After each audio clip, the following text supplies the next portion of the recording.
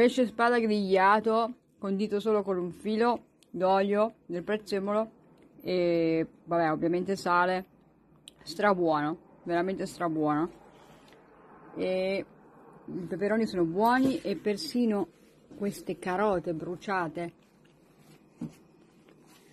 non sono niente male. Carota bruciata. Mm. Domani scrivo la ricetta di tutto.